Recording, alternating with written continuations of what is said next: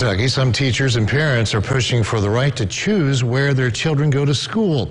The group Ed Choice Kentucky gathered in Frankfort today. It's a coalition dedicated to opening up more opportunities for families through a scholarship tax credit program.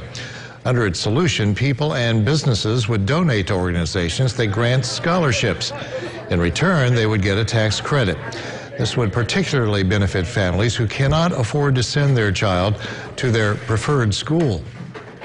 We have school choice in Kentucky. If you have the financial means, you get school choice, but we do not have any programs that assist families who, who may have a financial challenge. Um, unfortunately, we're in the minority of states that have no program whatsoever, or no programs whatsoever for those families. Every child should have the opportunity to be able to go to a school that fits their needs.